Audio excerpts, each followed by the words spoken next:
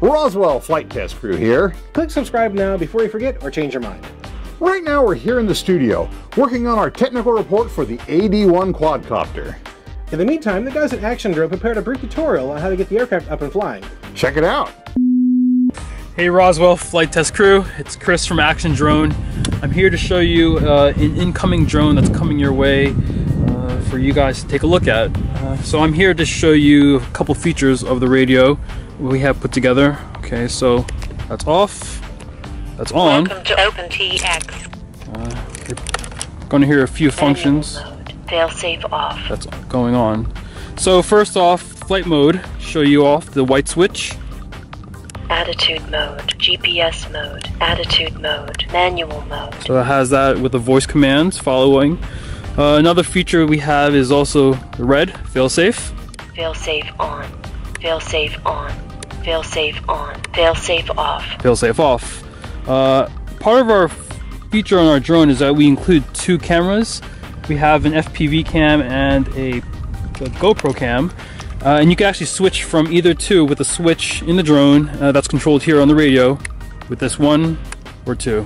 Flip of the yellow switch and that's yellow. Uh, another one feature that I think is pretty cool is I included a timer. Since we have a timer on display, uh, when the timer goes off, it will count off on the minutes, but at any time you can just get the time wise by flipping the switch. Seven seconds. Eight seconds. Ten seconds. Eleven seconds. Uh, and for control of the gimbal, uh, the GoPro pitch, you control it with the slider, down and up. Uh, and another feature is that with the radio, I also included Failsafe on. volume control Failsafe with on. S2. Failsafe on. Failsafe on. Failsafe on. Failsafe off. And for gain controls uh, on the Minix flight controller, we have the S1 knob on the radio to control the gains. Which, which uh, the gains is meant for all altitude, pitch, uh, yaw, as rolling as well. And with this Minix uh, flight controller, what you need to do uh, when you initiate and start the motors, simple throttles together, uh, sticks down together, down and in, just like that. And this is for the Minix uh, uh, flight controller. So what is Daryl's powering it up, Twelve seconds. and then we can give you a closer look. All right, so going over the flight modes, uh, as you can see, the LED puck is showing a blue blinking, uh, which indicates manual mode, which is uh, all the way up with the flight mode. In attitude mode, Attitude mode. you'll see just one solid green blinking. That's uh, G. That's attitude mode with the sol- with the blinking green, and then GPS mode. GPS mode you'll see double blinking. There you go. And then let me just put it back Attitude on attitude mode and show what failsafe looks like, which should be blinking red. Failsafe on. Failsafe on. Failsafe on. All right. Failsafe on. So those are all the different on. modes. Failsafe off. So basically, when you are ready to fly, you'll just get a solid blinking green that shows you at attitude mode.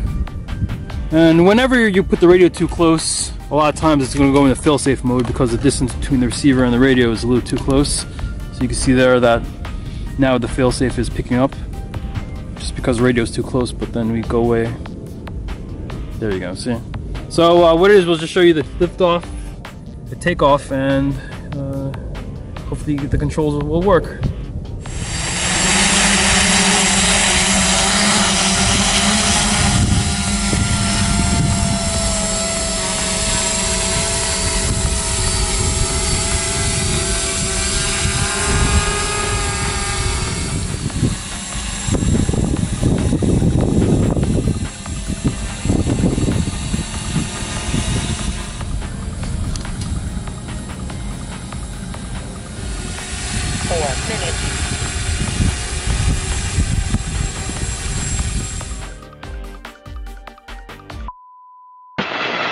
Be sure to subscribe now so you don't miss our full technical report on the ActionDrone AD-1. Thanks for watching. See you next time. All right, fly safe.